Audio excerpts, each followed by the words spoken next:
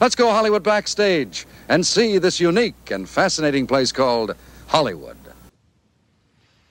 I take responsibility. Virtue signaling, the favorite pastime of celebrities everywhere, right up there with P. Diddy parties or cucking out to the Chinese government. 我爱更尊重中国更中国人。 Virtue signaling has been a regular practice in Hollywood for the majority of its history, but there's a 24 7 display of it in all its glorious cringe thanks to social media. Opening an app at any minute brings with it the threat of a celebrity caring about the most important thing ever of the day. It extends beyond their personal accounts when their careers are riding on towing a studio's political line when promoting a film. It's a downward spiral for an industry that still hasn't recovered from the pandemic. Last year's $8.9 billion total is lower than 20 years ago. 2004 saw a $9.1 billion domestic tally and 1.3 billion tickets sold versus last year's 829 million tickets. With the quality of Hollywood's productions being the worst in recent memory and competition for people's attention at an all-time high, hearing a celebrity spouting about their moral superiority, whether it's a self-aggrandizing choice or as a forced studio proxy, is the last thing most people want to hear and it's contributed to Hollywood's decline in box office and cultural perception. Issues plaguing Hollywood aren't new, but they evolve and eventually become too big to ignore. Studios have made a number of stupid decisions contributing to their own demise. From going all in on streaming services that generate little profit that shun theaters in the process, to shoving their stars in front of cameras like hostages as they read a virtue dripped PR ransom letter. And that ranges from John Cena to Bob Chapek, who is the head of the biggest media conglomerate in the world. It insults people's intelligence and reinforces the perception that Hollywood consists of hollow, vacuous, and out of touch celebrities, ready to finger wag their way through the next media cycle, ultimately fueling audience apathy. When studios aren't having actors embarrass themselves on behalf of the company, a person in position of power like Disney's Bob Iger is fully capable of doing that himself. After pseudo retiring from his position as CEO, he was reinstated after Bob Chapek's short lived but turbulent time as head of the company following Iger's initial departure. Chapek's time was marked by downward profits and internal political battles, but his time was so brief that any issues in profitability were because of systems put in place by Iger well before Chapek took over. So he took the fall and Iger stepped back in to fix mistakes he himself started. When Iger succumbed to social and stakeholder pressure and allowed identity politics to take precedent in the company's media productions over actual entertainment.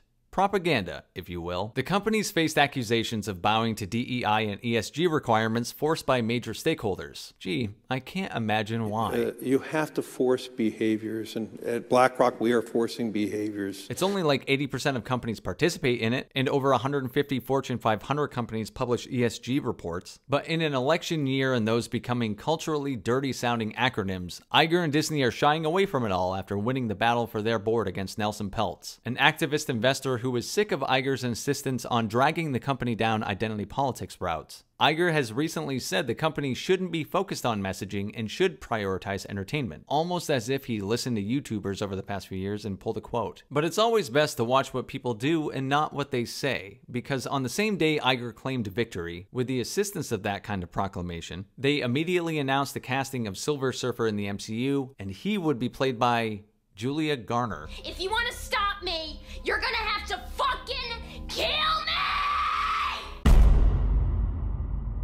Today's sponsor Keeps is a subscription service that helps men keep their hair. They offer clinically proven treatments that help combat hair loss. It's a convenient and affordable way for men to treat their male pattern baldness without ever visiting a doctor's office or pharmacy. It ships right to your door in discreet packaging, and I know because they ship me some free stuff. I use their thickening shampoo and conditioner, but I also use their pomade. That's how I keep my hair looking like a purposeful disaster. Keeps keeps it personal because everyone's treatment plan will look different. Your plan is unique to you and recommended by a licensed medical provider. Whether you're looking to prevent hair loss, stimulate hair growth, or just take better care of the hair you have, Keeps has you covered. Hair loss stops with Keeps. For a special offer to get started, go to keeps.com slash moviecynic or click the link right in the description. That's K-E-E-P-S dot com slash moviecynic. Thanks to Keeps for sponsoring this video, and now back to it. She's playing an alternate version of the character that does have a comic book origin, even though that version of the character has appeared in all of like three comics, and is best known as an Easter egg in the song title Back to Shalla-Bal, written by Joe Satriani, who himself is best known for guitars and suing Coldplay. At this point, there's no reason to give a company like Disney the benefit of the doubt.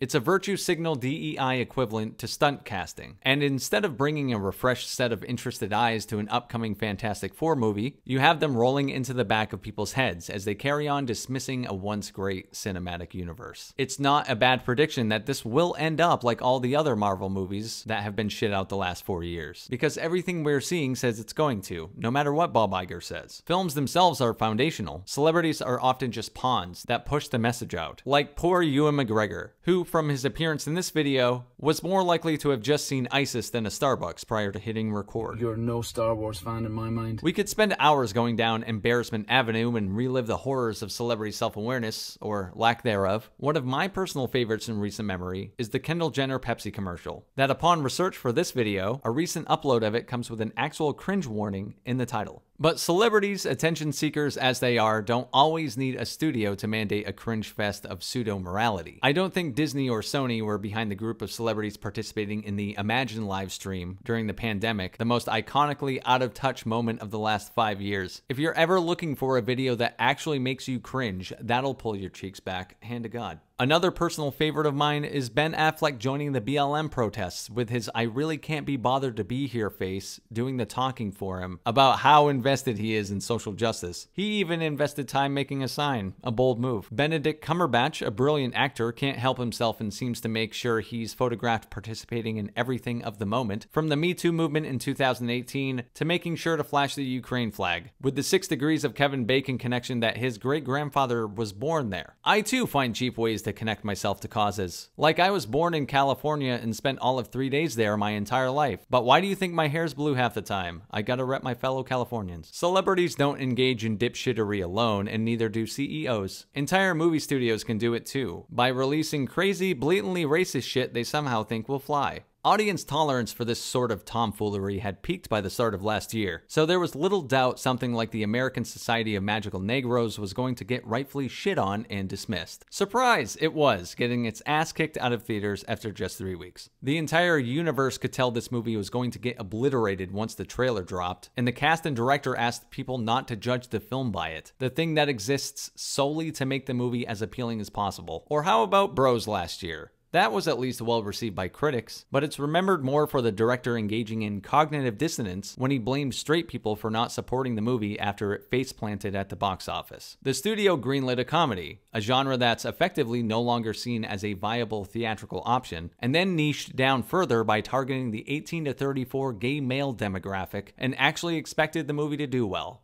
Doubtful. You see this happen all over the place. It's encouraged by studios, by who they hire when they bring on activists with no interest in the actual property. The American Society movies press tour was hilarious. With Nicole Byer, who plays Dee Dee in the film, saying, I've gone to auditions where it's a magical Negro part where it's just a friend. You don't have any backstory. It's just like she's 32 and loves her best friend. Yes, because that doesn't fit the description of thousands of characters in the side and background of movies and TV shows throughout history. It's actually foundational racism. Even if it wasn't, I'm personally shocked the co host of a reality baking TV series isn't given deeper roles in film to seek her teeth into. With that sort of filmography, why wouldn't you? And people in Hollywood are no strangers to indulging in virtue signaling for the sake of money. It's why Hollywood studios have engaged in propaganda from the onset. The founder of MGM made his initial bank backing Birth of a Nation, one of the most wildly racist movies ever made that was controversial even at the time of its release. In the movie Civil War, Captain America said suspiciously of the World Security Council, it's run by people with agendas, and agendas change. That can be said of Hollywood's propaganda machine, from pushing Birth of a Nation to the US government scrubbing over 1,500 Hollywood Hollywood scripts of anything showing the US in a negative light during World War II. And celebrities have a long history. Marlon Brando sent Sacheen Littlefeather to accept his Best Actor Oscar for The Godfather, refusing to accept it himself and use the win as a chance for Littlefeather to speak out on the mistreatment of Native Americans by the film industry. The interesting thing to note is that Littlefeather had some claps during her speech, but was also showered with booze. Excuse me.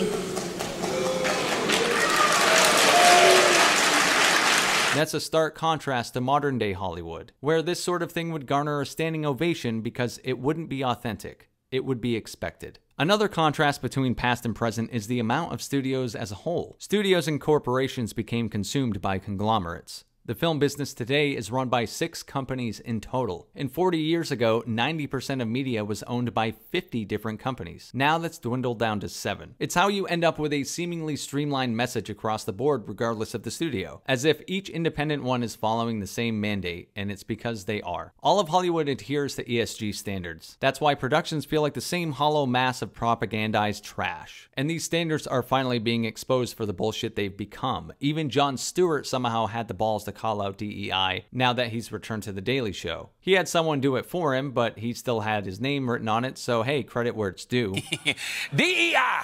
DEI stands for Dr. Dre, Easy E, and Ice Cube. Installing DEI standards, even if it was originally done with good intention, DEI standards become modern day propaganda when it's funneled through entertainment. Elmer Davis, a CBS broadcaster in the 1940s, said The easiest way to inject a propaganda idea into most people's minds is to let it go through the medium of an entertainment picture when they do not realize they're being propagandized. John Cena's shameless situation with the CCP is a wild and blatant example of a celebrity delivering a propagandized message, and companies do it too. A company like Disney is just as likely to preach a message of importance of diversity and inclusion as they are to de-emphasize Finn on the Chinese Force Awakens poster. Corporations don't give people enough credit. This satisfies a small section of very vocal people who have no interest in their product but are more interested in compliance. And it doesn't fool a discerning public who can sniff out bullshit a mile away. Just like people do with celebrities, who tend to be far more prone to embarrassing themselves than your average Joe found screaming on the street corner. As a Before the age of social media, celebrity dipshittery was relegated to crashing award shows or interviews, but now they have unfettered access to reach an audience anytime they need attention. Their daily lives are streamed for everyone to see, and instead of normalizing or humanizing anyone in that position, it exposes their self absorbed lifestyles and personalities that often seem detached from reality. No matter what kind of political opinion they have, a celebrity can spout it, often to the detriment of their production. Whether that's fair or not is beside the point here. Tim Allen's right wing views have stirred controversy, same as Gina Carano's, who's now embroiled in a lawsuit with Disney. On the other end, you have someone like Seth Rogen, whose insistence on never shutting the fuck up on Twitter had fans questioning how someone goes from Superbad to Santa Inc. Someone once said Seth Rogen's the kind of guy who would climb a glass wall to see what's on the other side. As much as social media has allowed celebrities to satisfy their gluttony for attention, this constant presentation of self aggrandizing virtue signaling furthered the negative perception of Hollywood. When writers and actors went on strike, most of the world didn't seem to mind. They were scoffed at for asking support from the people who were already providing them a living. Even though the majority of people impacted by the strikes in Hollywood weren't millionaires by any stretch, the perception of what it means to be in Hollywood is so apathetic that the world collectively cried out, oh whoa, the millionaires aren't making more. During a post pandemic rise of inflation when the cost of existing is out of control, from the public's point of view, they're hearing wealthy people who make a living playing pretend complain about work conditions. The average person doesn't want to hear that shit, even if most of the people impacted aren't actually millionaire actors. But you can thank those millionaire actors for their role in how their profession is perceived. If someone wants to be a movie star, you kind of think of it the same way you would if they said they wanted to get into politics. Who actually wants that job in today's age? A successful actor's life is never normal again after a certain point, from the open secret initiation and shaming rituals of Hollywood elites to recent and ongoing rabbit holes like Harvey Weinstein and, adjacent to that, P. Diddy. And the idea of celebrity, with few exceptions, seems to always amplify the worst of human tendencies. Virtue signaling, trying to fit in, and saying the right so as to not be ostracized isn't saved for famous people. It's the human condition. But celebrity status is that on a Hulk Hogan amount of steroids. For better or worse, people excuse poor behavior if it's backed up by great performance. Fair or not, star players on teams typically get the star player treatment because they'll deliver on game day. Eccentric behavior hasn't just been a staple of celebrities, it's been expected. From the antics of punk, Madonna crossing boundaries in the 80s, or David Bowie in the 70s, but we're talking about great past performers putting out generational hits. The modern Hollywood equivalent is the previously mentioned Seth Rogen preaching moral superiority on Twitter and releasing dumpster fires like Santa Inc. At least our guy Robert Downey Jr. drops a cringe bomb and then follows it up with Oppenheimer. Point being, audiences would still see movies starring annoying people if the movies were good, but they are not so no grace is given. People used to love going to the movies to see Schwarzenegger, Stallone, Julia Roberts, all actors who had periods of their careers where they could sell a movie if their name was attached. Blockbusters are more about IPs now.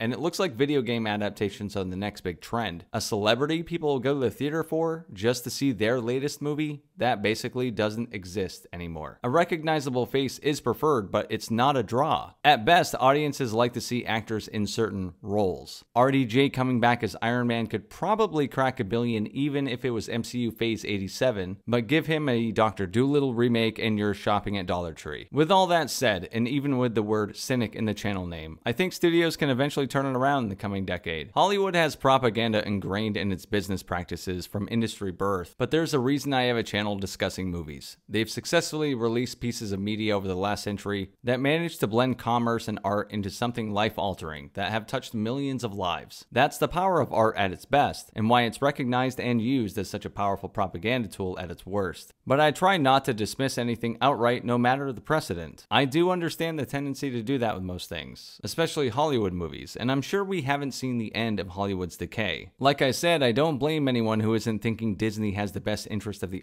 audience in mind when they're pulling out the Shalla-Bal Silver Surfer. And I'm not asking celebrities to be role models, just don't be cringe. When there's actual autonomy involved, I mean. I know for the foreseeable future, no one's avoiding the weird humiliation rituals, like the rumor about why John Cena was naked at the Oscars. But maybe Hollywood will stop that weird shit in the future too, and everyone can get on just being average weirdos. GG's. And killer cops must be prosecuted. They are murderers. We can turn the tide. Call out hate. Step up.